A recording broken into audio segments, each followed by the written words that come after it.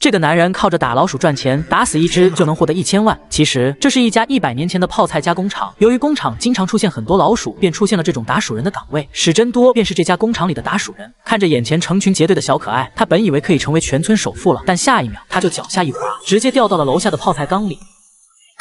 工作人员不但没有发现，而且还一言不合就盖上了上面的盖子。没想到就在这时，工厂被查封，他也被永远封存在了泡菜缸里。看视频一定点赞加关注，那个人的运气一定会很好。好在一百年后，两个小屁孩来到这家废弃的工厂探险，意外打开了这个泡菜缸。下一秒，史真多竟然啥事没有的从泡菜缸里醒了过来。小屁孩见状被吓得赶紧跑回了家。神奇的是，被泡腌菜缸里的史真多被救出来后，居然毫发无伤，并且身体的各项指标也非常正常。事后，史真多询问医生自己的妻子史真香现在在哪里，医生说你的妻子。现在早已去世了八十年，劝他再找一个，气得史真多当场把他打翻在地。就当他得知自己还有一个曾孙子后，史真多显然有些措手不及，但最后还是跟孙子走出了医院。结果出来后，发现外面竟然高楼大厦平地起。就当出租车开过来后，吓得他还想和出租车对打。回到家后，史真多提出要去自己妻子的墓地看看。在曾孙的带领下，他成功的来到了这里。此时，妻子的墓地已经变成了一片垃圾场。就在这时，一坨脏东西突然从广告牌上落下，直接砸中妻子的墓碑。就在这时，一群换广告牌的工人让他赶快离开这里，气得史真多直接一拳把他打飞。事后，他一直训斥孙子没有照看好家族的墓地，因此爷孙两人不欢而散。史真多也决定干回自己的老本行，赚钱拆除那个讨人厌的广告牌。于是他一言不合就走进商场买了九十九根黄瓜。